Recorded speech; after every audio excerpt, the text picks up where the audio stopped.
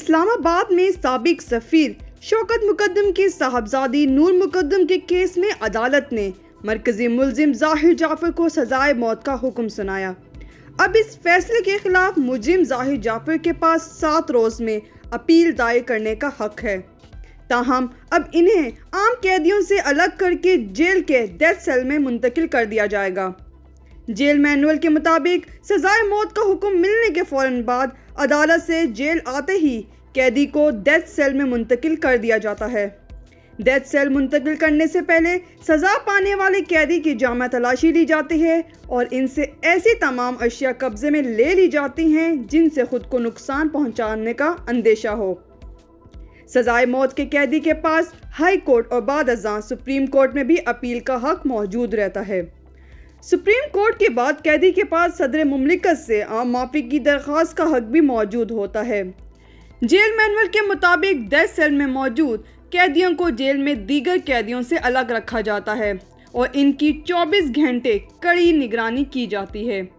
Jail manual के मुताबिक सजाए मौत के कैदियों की मुलाकात का दो हफ्तों में एक रोज़ मुकर होता है, जबकि आम कैदियों की मुलाकात रोज़ाना की बुनियाद पर करवाई जाती है।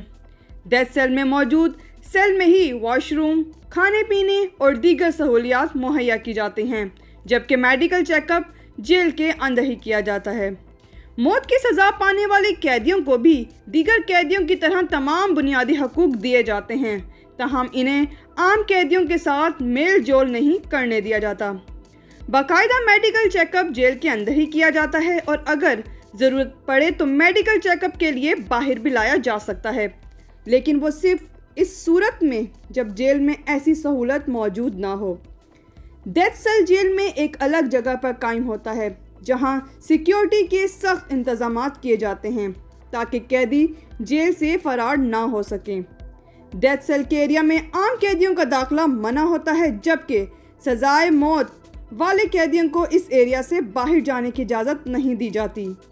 डेथ सेल में दो से तीन कैदियों को रखा जाता है और इनको 24 घंटे में कुछ वक्त के लिए कमरे से बाहर निकाला भी जाता है। ताहम दीगर सहूलियात दीगर कैदियों की तरह दी जाती हैं। अब देखना ये होगा कि क्या ज़ाहिर जाफ़र अपनी सज़ा के खिलाफ हाई कोर्ट के बाद सुप्रीम कोर्ट से रजू करता है या नहीं। क्योंकि नूर मुकदम केस में भी इंसाफ की तकमील इसी दिन होगी जब मुजिम को गले से फांसी के लिए लटकाया जाएगा। इससे पहले तक तमाम अमल आधा इंसाफ है।